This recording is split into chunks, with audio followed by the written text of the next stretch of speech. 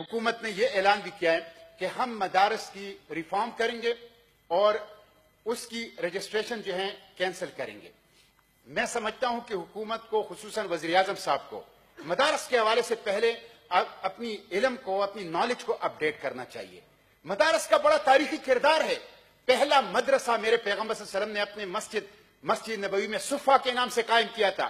And Safa is the first residential university in human history یہ پہلا اقامتی جامعہ تھا جو انسانی تاریخ میں میرے آقا نے اپنی مسجد میں بنایا تھا۔ یہ صفا مدرسہ تھا، یہ دارالقم مدرسہ تھا۔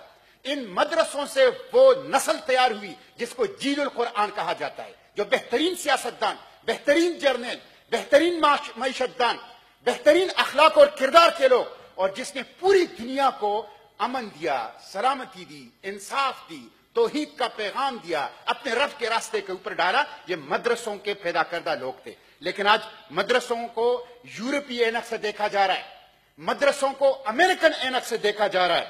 یہ جو کروسیٹ تھا، اس کو روکا مدرسوں نے۔ یہ جو چنگیز خان اور ہلاکو خان ہے اس کو امام ابن تیمیہ نے روکا جو مدرسوں کے سالار تھے۔ یہ جو آپ کے اپنے ملک کے اندر انگریز آئے، یہ حاجی صاحب ترنگزے یہ ہڈے ملا یہ جو فقیرہ پی ہے، یہ کون ہے یہ کوئی خان اس میں نہیں ہے، کوئی نواب اس میں نہیں ہے۔ یہ مدرسوں کے لوگ تھے جنہوں نے استعمار اور سامراج کو روکا اور عوام کو ایجوکیٹ کیا۔ ویسے چیئرمین میں آپ کو بتانا چاہتا ہوں، یہ تاریخ کی حقیقت ہے۔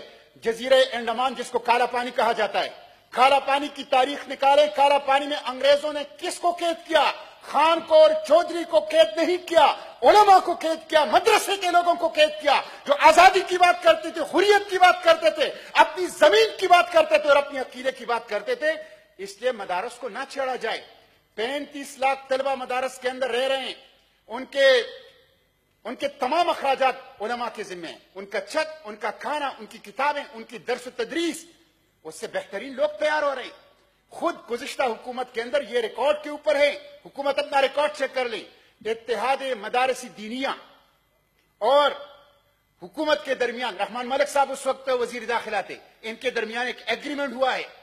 اس ایگریمنٹ کے تحت مدارس اکاؤنٹ کھولنے کے لیے تیار ہے چارٹرڈ فرم سے آڈٹ کرنے کے لیے تیار ہے کمپیوٹر پڑھانے کے لیے تیار ہے انگریزی پڑھانے کے لیے تیار ہے ایسے نصاب کو، ایسی کتابوں کو ختم کرنے کے لیے تیار ہیں جس سے مسلک پرستی اور جس سے اختلاف آ جاتا ہے۔ لیکن حکومت رکاوٹ ہے۔ آج اور کل اخبارات کے اندر یہ خبر آئی ہے کہ کئی درجن این جی او کے اوپر حکومت نے پابندی لگائی ہے، اس لیے کہ اس سے حکومت مطمئن نہیں ہے۔ این جی اوز کو اجازت ہے کہ وہ رجسٹر ہو جائیں۔ وہ بینک اکاؤنٹ کھولے جو ملک کی سالمیت کے خلاف خود حکومت کی اپنی گواہی کے مطابق کام کر رہے ہیں۔ لیکن مدارس کو بینک اکاؤنٹ کھولنے کی اجازت نہیں ہے۔ مدارس کو رجسٹریشن کی اجازت نہیں ہے۔ اس لیے یہ پینتیس لاکھ طلبہ ہیں۔ یہ پاکستان کا ایسڈ ہیں۔ ان کے ساتھ دشمنی نہ کیجیے ان کو اپنے سینے سے لگائیے۔ پاکستان کے جامعات کا بجٹ اٹھا کر دیکھ لیجیے جی وائنڈ اپ کریں سینیٹر صاحب۔ میں مختصر کر رہا ہوں جی۔ پاکستان کے ایک جامعہ کا بجٹ ہے گیارہ ارب ڈالر گیارہ ارب روپے۔ ڈالر۔ گیارہ ارب روپے ایک یونیورسٹی کا بجٹ ہے۔ آپ مدرسوں کو کیا دے رہے ہیں؟ آپ کے بجٹ میں آپ کی پرائرٹی میں آپ کے اقدامات میں آپ کے فیصلوں میں آپ کی ترجیحات میں مدرسے کہاں شامل ہے اور آپ مدرسوں پہ ہاتھ ڈالنا چاہتے ہیں اس لیے پاکستانی قوم اس کی اجازت نہیں دے گی۔ آپ پہلے نالج حاصل کریں۔